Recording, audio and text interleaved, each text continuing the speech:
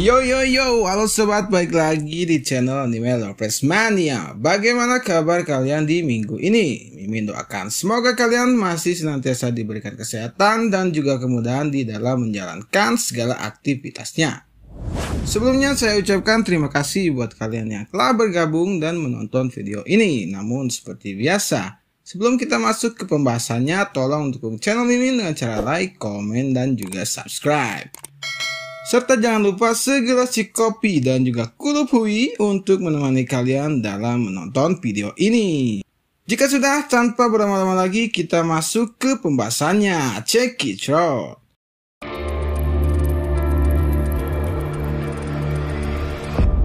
Perang besar di Wano sekarang sudah berakhir dan di busur baru kali ini Luffy beserta kru bajak laut topi jerami sepertinya akan kembali dihadapkan oleh pertarungan yang cukup besar melawan musuh-musuh lamanya. Siapa lagi kalau bukan Rob Lucy, Kaku dan juga Stashi yang sekarang telah naik tingkat dan bergabung dalam organisasi Fall IG Zero.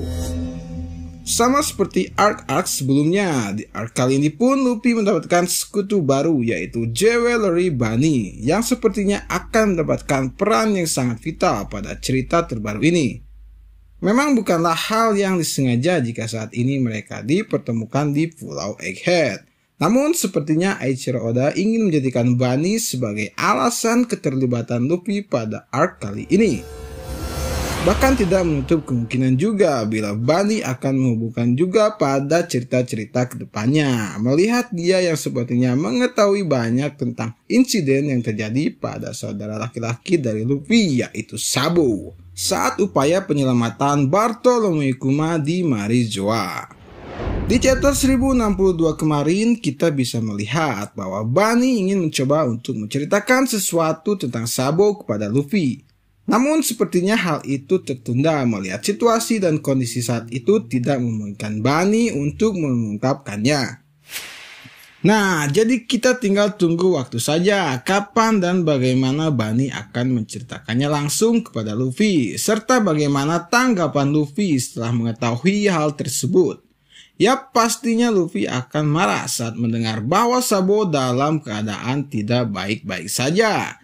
Sangat seru sekali untuk kita tunggu kelanjutan dari ceritanya sobat. Lalu di akhir chapter 1062 kemarin, kita pun mengetahui jika pemerintahan dunia telah mengirimkan tiga agen CP0 terbaik mereka ke Pulau Egghead untuk menyingkirkan Dr. Pegapang. Mereka adalah Rob Lucy, Kaku, dan juga Stashi, bahkan diserai oleh Serapin dari Bartolome Kuma, yang terlihat lebih besar dibandingkan dengan Serapin Mihawk dan juga Hankook dalam wujud anak-anak. Dan dengan dimunculkannya mereka di arc kali ini, besar kemungkinan akan terjadinya pertarungan ulang antara kru bajak laut topi jerami melawan Hero. Tidak perlu dipertanyakan lagi bila Rob Lucy adalah lawan tangguh bagi Luffy saat di Ennis Lobby yang saat itu masih tergabung dalam CP9 bersama Kaku. Bahkan Luffy harus mengerahkan seluruh kekuatannya dalam pertarungan yang hampir saja menghilangkan nyawanya. Namun, namanya juga lakon tentunya Luffy dapat membalikan keadaan. Dengan gomu-gomu Gatling Gun, Luffy pun berhasil menemukan Luffy. Akan tetapi lawan tangguh saat itu bukan hanya Rob Lucy, ada Kaku yang saat itu berhadapan dengan Roron Zoro. Bahkan Zoro harus mengeluarkan teknik sembilan pedang yang bernama Ashura untuk mengalahkan Kaku. Nah, ingat, beberapa tahun telah berlalu setelah pertemuan di Ennis Lobby. Dengan naik tingkatan menjadi CP0, tentunya itu membuktikan bahwa kemampuan atau kekuatan mereka pun semakin bertambah hebat pula dan besar kemungkinan kekuatan buah iblis mereka telah mencapai tingkatan tertinggi atau kita kenal sebagai awakening. Dan dapat disimpulkan bahwa Rob Lucy dan kawan-kawan akan menjadi salah satu lawan tangguh bagi Luffy dan kru dalam arc kali ini. Tapi jangan lupa, Luffy beserta semua kru pun telah berkembang sangat jauh, baik dari segi kekuatan ataupun kemampuan dalam pertarungan. Terutama Luffy dan Zoro, di mana Luffy telah berhasil membangkitkan awakening dari Hito Hitonomi miliknya. Ditambah lagi Zoro dengan pedang Enma peninggalan mendiang Kozuki Oden. Jadi bisa dipastikan bahwa bila mereka benar-benar bentrok untuk kedua kalinya dalam arc kali ini, hasilnya akan sama saja dengan saat di Ennis Lobby. Ya bagaimana tidak, karena naga saja bisa dikalahkan Luffy. Apalagi ini cuma seorang manusia macan. Kenapa Mimin bisa berpendapat seperti itu? Alasannya sudah jelas. Dari segi kemampuan dan kekuatan saja mereka berbeda cukup jauh, ditambah lagi untuk melawan Luffy dan kelompoknya. Di mana mereka hanya bertiga, sedangkan Luffy bersembilan. Belum lagi niatannya untuk menghabisi Dr. Pegapang pastinya akan tidak semudah yang dibayangkan. Karena Spijiro harus menghadapi ke-6 Pegapang terlebih dahulu. Tapi kita jangan lupa ada pulau di mana terdapat markas angkatan laut di dekat pulau Egghead ini. Yang besar kemungkinan pula Angkatan Laut akan terlibat di dalamnya. Inilah yang akan membuat Rob Lucy dan kawan-kawan akan dapat mengimbangi kekuatan dari Luffy beserta kelompoknya. Dalam arc kali ini pun kita masih belum mengetahui siapakah bos jahat pada arc kali ini karena banyak kemungkinan akan ada karakter kuat yang belum dimunculkan ke dalam ceritanya. Melihat ini adalah awal dari arc terbaru. Bisa saja Angkatan Laut masih menyimpan tokoh-tokoh kuat lainnya. Contoh saja Sentomaru yang merupakan pengawal dari Dr. Pegapang. Ada juga Smoker yang merupakan musuh lama Luffy dari kubu Angkatan Laut. Di mana dari dulu dia berusaha untuk menangkap Luffy namun selalu gagal. Dan pada arc kali ini pun kemunculannya bisa dipertimbangkan melihat Tashigi sudah dimunculkan pada dua chapter sebelumnya.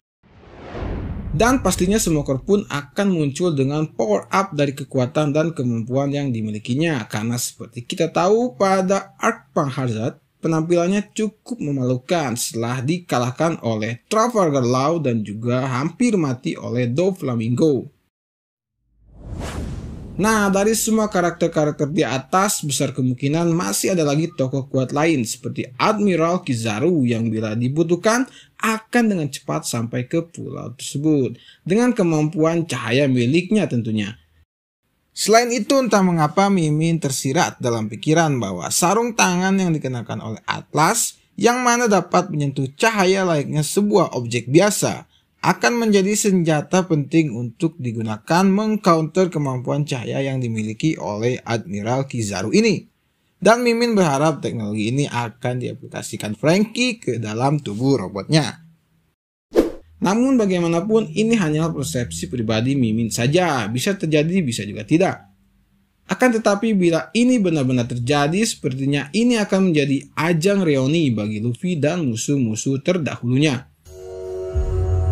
Lanjut lagi ke tujuan Rob Lucy, Kaku, dan juga Stacy datang ke Pulau Egghead ini.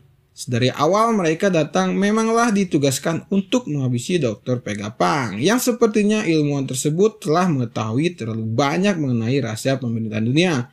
Bahkan di chapter 1062 ini pun Rob Lucy bertanya-tanya apakah ada kaitannya dengan insiden Lucia Memang belum dijelaskan secara pasti alasan Dr. Pegapang akan dihapuskan. Di sini kita hanya tinggal menunggu waktu sampai akhirnya Eiichiro Oda menggambar beberapa panel untuk menjawab alasan tersebut. Dengan akan dilenyapkannya Dr. Pegapang, entah kenapa Mimin beranggapan bahwa peluang Dr. Pegapang untuk menjadi sekutu dengan Luffy pada arc kali ini justru semakin besar. Alasannya tentu saja tergantung pada jawabannya. Seperti apa yang Bani katakan di chapter 1062 kemarin, di mana Luffy bertanya pada Bani, Lalu kenapa kau kembali ke sini? Bani menjawab, Aku kemari untuk meminta jawaban. Akan kuhabisi bajingan itu kalau aku tidak suka jawabannya. Dari obrolan ini kita bisa simpulkan bahwa Dr. Pegapang belum tentu sepenuhnya orang jahat. Atau masih 50-50 lah. Karena bisa saja ada alasan kuat kenapa dia merubah Kuma menjadi cyborg. Tentunya itulah yang ingin diketahui Bani sebagai seorang anak dari Bartolomeo Kuma. Cerita sedikit mundur, seperti pada video sebelumnya Mimin pernah menerangkan alasan Kuma bersedia untuk dijadikan kelinci percobaan oleh Dr. Pegapa. Alasannya hanya satu, yaitu pertukaran di mana Bani saat itu telah menjadi tawanan dari Angkatan Laut. Tentu saja sebagai seorang ayah, Kuma rela melakukan apa saja untuk menyelamatkan anaknya.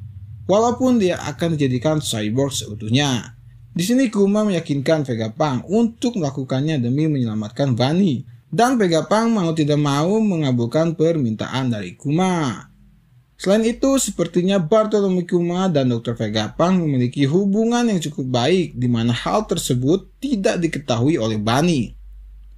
Nah, jika jawaban ini yang keluar dari mulut Vega Pang saat Bani menanyakan alasannya, tentu saja Bani tidak akan tinggal diam bila tahu bahwa Vega Pang telah diincar oleh CP0. Jadi inilah awal dari persekutuan mereka. Selain Pang, tentunya Nico Robin akan menjadi target lainnya bagi Rob Lucy setelah mengetahui dan secara kebetulan mereka dipertemukan pada arc kali ini. Karena kita tahu dari sejak kecil Robin menjadi incaran utama pemerintahan dunia dan di arc Wano kemarin pemerintahan dunia pun mengirimkan agen CP0 untuk menangkapnya namun selalu saja gagal. Pemerintahan dunia saat ini dibuat ketar-ketir setelah Luffy dan kru bajak laut topi jerami telah berhasil mengumpulkan tiga batu rod Boneklit dan hanya butuh satu lagi bagi Luffy untuk lebih dekat menuju harta karun One Piece. Maka dari itu, pastinya Robin akan menjadi target lainnya dari CP0 karena dia dapat membaca apa yang tertulis pada batu rod Boneklit tersebut. Nah, sobat mungkin itu saja informasi yang bisa Mimin bagikan pada video kali ini.